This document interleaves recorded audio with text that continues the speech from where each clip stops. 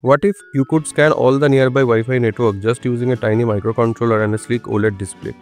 In this project, we are building a Wi-Fi scanner using an ESP32 that shows nearby networks right on the OLED screen. Perfect for checking signal strength or network availability on the go.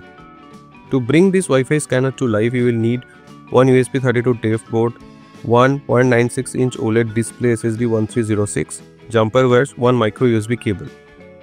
The OLED display we are using is the SSD 1306 based 128 by 64 monochrome display. It's super compact, low power and doesn't require a backlight, making it perfect for battery powered project. It communicates with the ESP32 using I2C protocol which only needs two wire SCL and SDA, keeping things neat and simple. Now let's wire up the OLED to the ESP32. GND of OLED to GND on ESP32 VCC or VDD of OLED to 3.3 volt on ESP32, SCL or SCK to GPIO 22, SDA to GPIO 21. Double check your connection before powering up.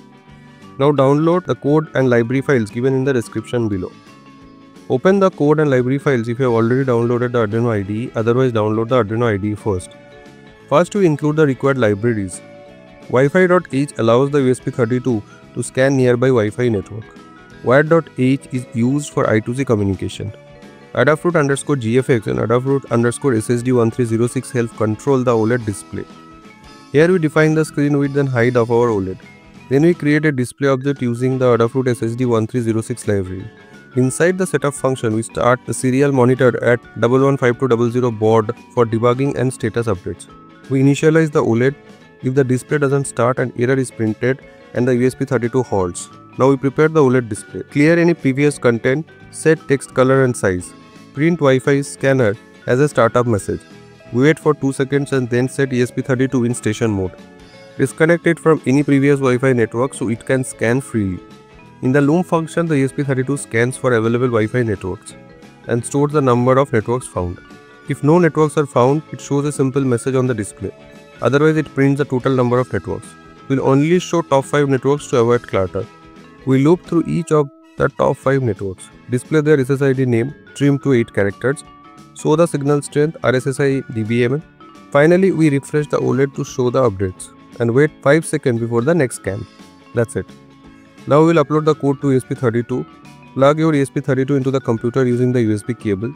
Select the correct port ESP32 dev module. Then go to the tools. Select the port where ESP32 is connected as for example COM4 now click the upload button right facing arrow. If you see connecting dot dot appears, just hold down the boot button until it starts uploading.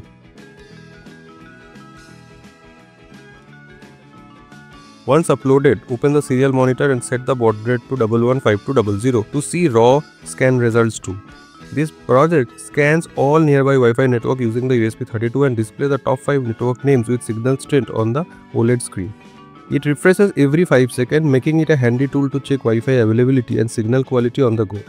If you like this project, don't forget to like, share and subscribe for more such exciting DIY trick with RoboArmy.